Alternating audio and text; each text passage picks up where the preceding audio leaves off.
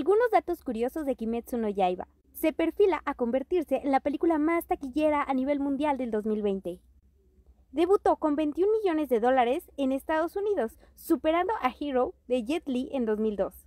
En México es el tercer mejor debut de 2021 y también es el cuarto mejor debut de una cinta japonesa en México, quedando por debajo de Dragon Ball que ocupa el 1, 2 y 3.